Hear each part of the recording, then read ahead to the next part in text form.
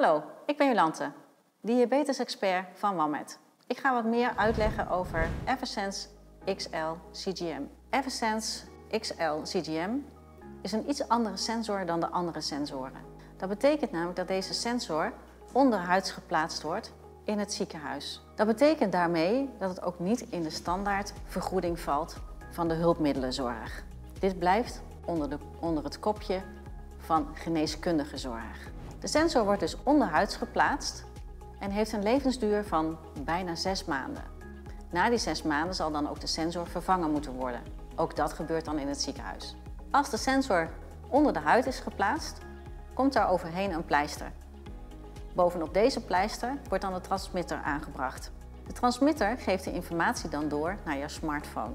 Er zijn alarmen instelbaar, zoals wat is de grens, wat is de ondergrens, maar ook bij snelstijging of snelle daling van je sensorwaarde. In dit geval is het zo dat de transmitter dan begint te trillen op je arm.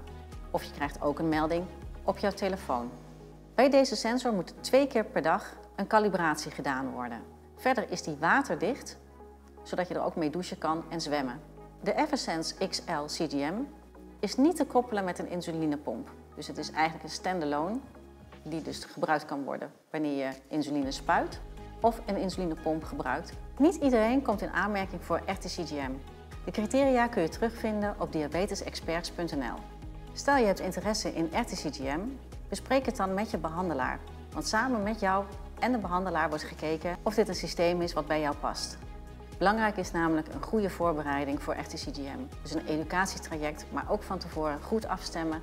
Wat zijn de behandeldoelen die ik wil bereiken met RTCGM? Vaak is het educatie, maar ook zelfs een enige zelfstudie ter voorbereiding voordat je überhaupt gaat starten met RTCGM.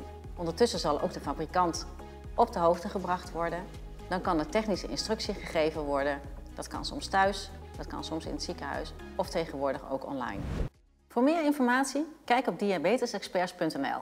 Bedankt voor het kijken. Tot ziens!